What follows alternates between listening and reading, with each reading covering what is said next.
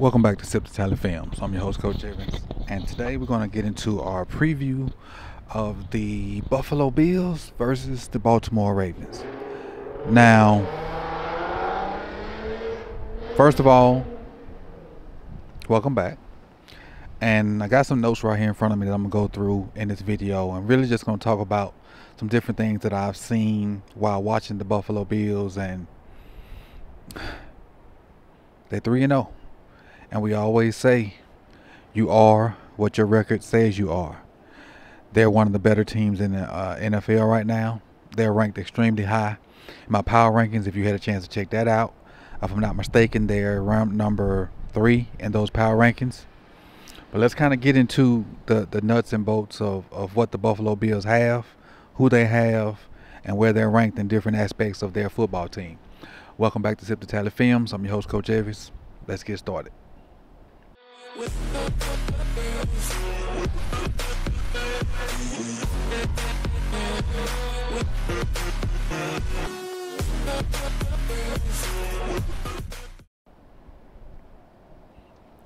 Right, appreciate you guys for coming back. And um, before we get into this, go ahead and like the video.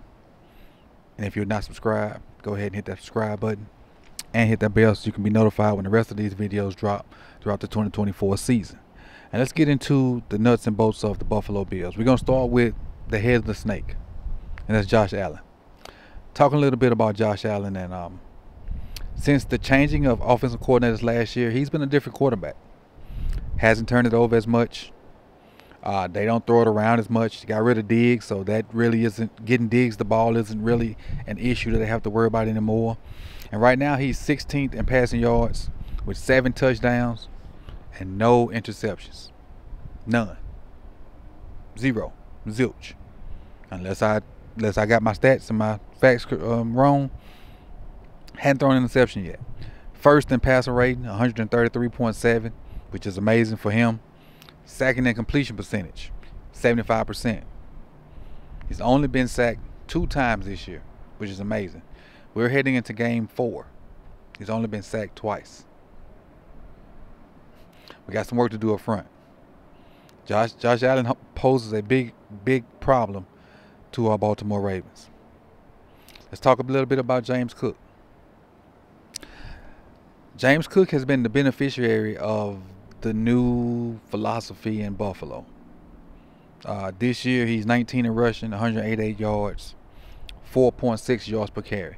Now, the yards, they mean a lot, but they don't mean a lot that yards per carry is what is tough. 4.6, and they also use him to catch the ball out the backfield. If I'm not mistaken, there we'll talk about the leading receiver in a little bit.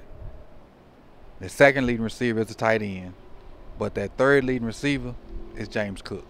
So he's catching the ball and running the ball for them. So we definitely got to keep an eye on James Cook and how they use him. He's always in motion, whether it's the yo-yo motion at the backfield, where they widen him out and bring him right back just to see what the linebacker's going to do, or do they put him, take him to the line of scrimmage and veer him out to make it look like he's a slot receiver? He's always, always in motion, trying to get information for Josh Allen at the quarterback position. As a team, the Bills' offense, 329 yards per game. That's 13 in the NFL. Um, passing yards, they allow, I'm sorry, they pass for 209 passing yards a game, which don't seem like a lot. It's 14, but they're efficient. They're extremely efficient, and they also rush for 120 yards per game, which is extremely efficient. And with them rushing the ball, it's Josh Allen, it's um, James Cook, also Ray Davis, the rookie from Kentucky. We'll mention him a little bit here in a little bit. But defensively, they're eighth in yards per game, and they're sneakily, sneakily. I just made that word up again. You know, I'm always making words up sneakily good on defense. Eighth in yards per game at 286. Eighth in passing yards per game with 168. And then there's 16 in rushing yards per game, which is where I think we can get them. And y'all know how we feel about us running the ball. And we'll talk about that in a little bit.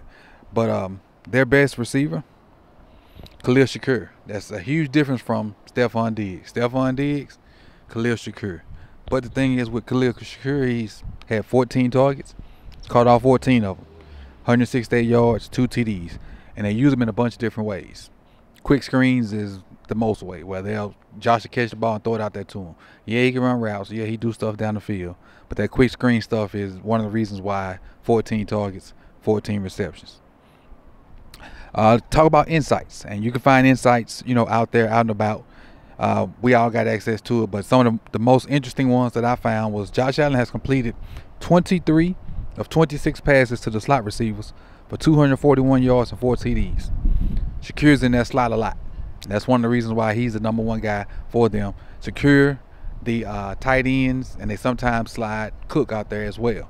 So we got to worry about that. That's his biggest target throwing to those slot receivers. But I also dropped a stat on on Twitter yesterday when I charted his runs, Josh Allen runs. Josh Allen's most effective runs have been when pass plays are called, and not the not the drop back and I'm looking for stuff and scramble. Drop back and I instantly see a weakness in the defense and take off right now. So he'll be like he'll look around the defense. The ball snapped and he instantly take off running because he found a bubble. Those have been his most effective scrambles um, so far this year. When he sees a, a, weakness or a gap in your defense, he just catch the ball and go. Everybody else still running the pass play, but he gone. Um, another insight: teams not getting pressure on him. He's only been pressured in 23.8% of his dropbacks. We've been rushing four a lot. Hadn't been getting home as much as we want, even though you know Calvin has four sacks. We're getting some pressure from Ojabo, some pressure from Oweh, uh, getting some push up the middle from Travis Jones.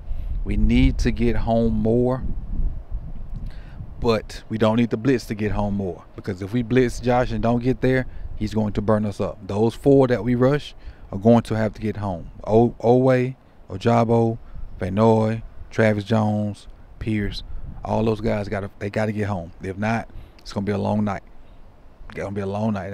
You can throw a, a, a stunt in every now and then with a linebacker, but a consistent blitz package because he's tough to tackle. And y'all know how we are with tackling sometimes. We don't, we don't like to, to get him on the ground. And he's one of the probably the hardest quarterbacks to tackle besides Lamar. So keep that in mind.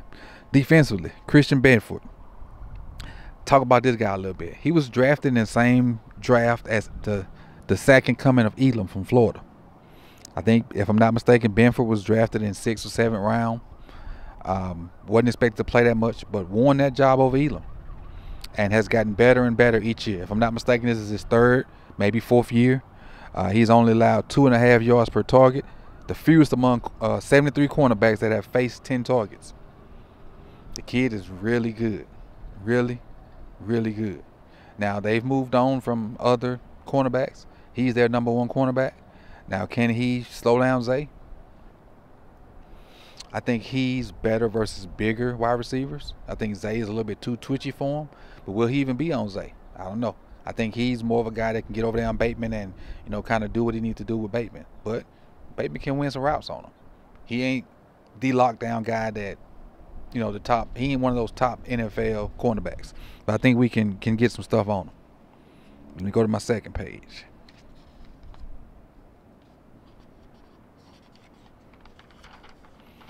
My second page is talking about their one-two punch in the backfield, and it's James Cook and Ray Davis.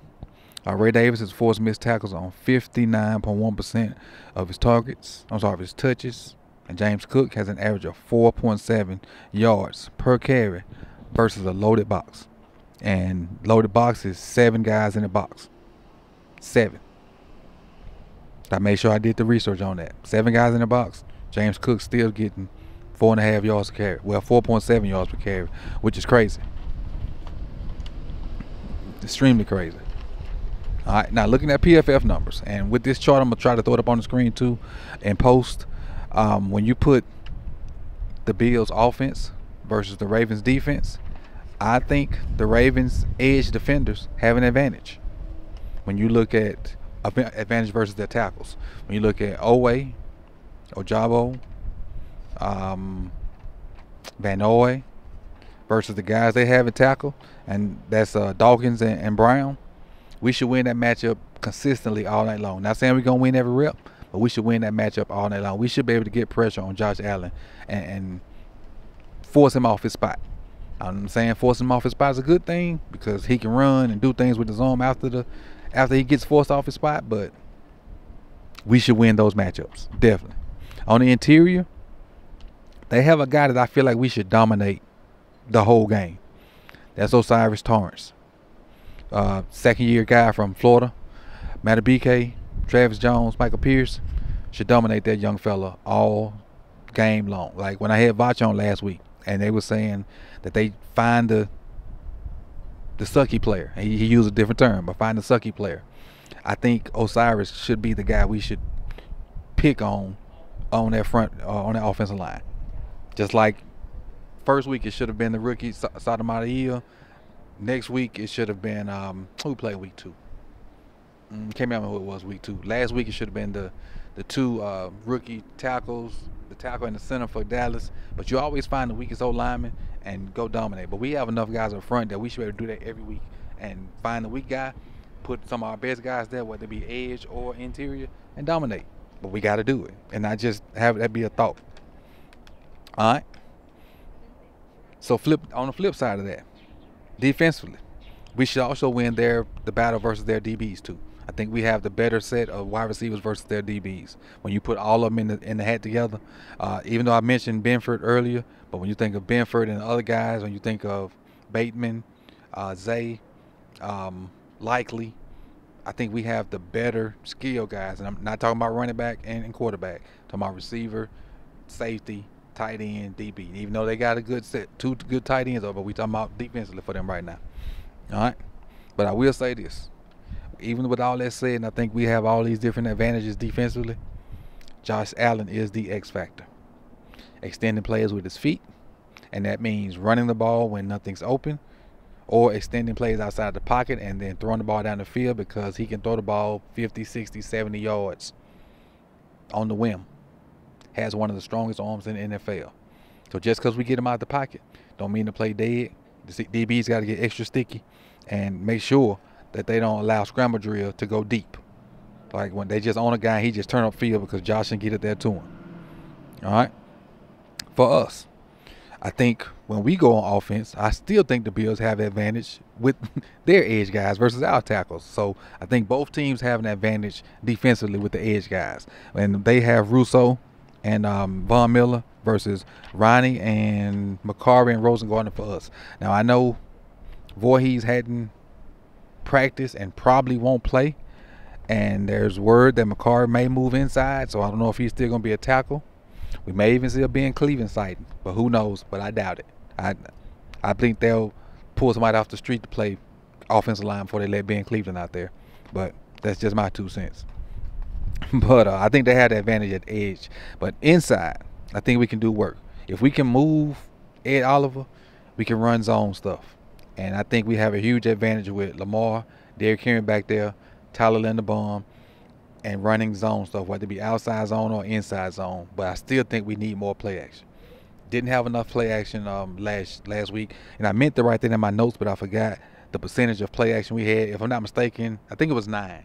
When I was on um, 410 Sports, they had a stat up. I think we only ran 9% of our passes, or on the season, 9% of our passes have been play action. And with that combination of Lamar and Derrick Henry back there, that's a travesty. We should have way more than that. Way more than that. But if we can move Ed Oliver, we should be able to run the ball. No stalemates. I mean, move. Now, for my overall thing, they're 3 and 0. We're 1 and 2. And I, you are what your record says you are. But I'm gonna go against it. I think we're a better team than one and two. We've just pissed down our leg some some some opportunities. But I think we put it pull it together and go out and have a great showing Sunday night, and we find a way to beat the um, Buffalo Bills. I think we run the ball. I think we control the clock, and I think we frustrate them by staying on the field a lot, and don't give the don't put the defense in a situation where they have to defend holding a lead. Offensively, go out there and slam the door.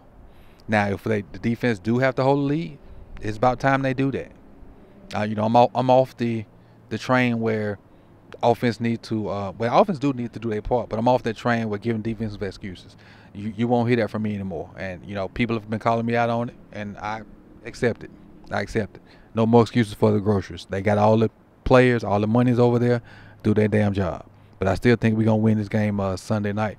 So I appreciate y'all for coming out. Could have been anywhere in the world. We'll be back in the studio soon. But it's nice to get outside and touch a little grass, even under the circumstances. I appreciate y'all. I'll see y'all soon. Y'all know what to do. Like, comment, subscribe, share. Peace.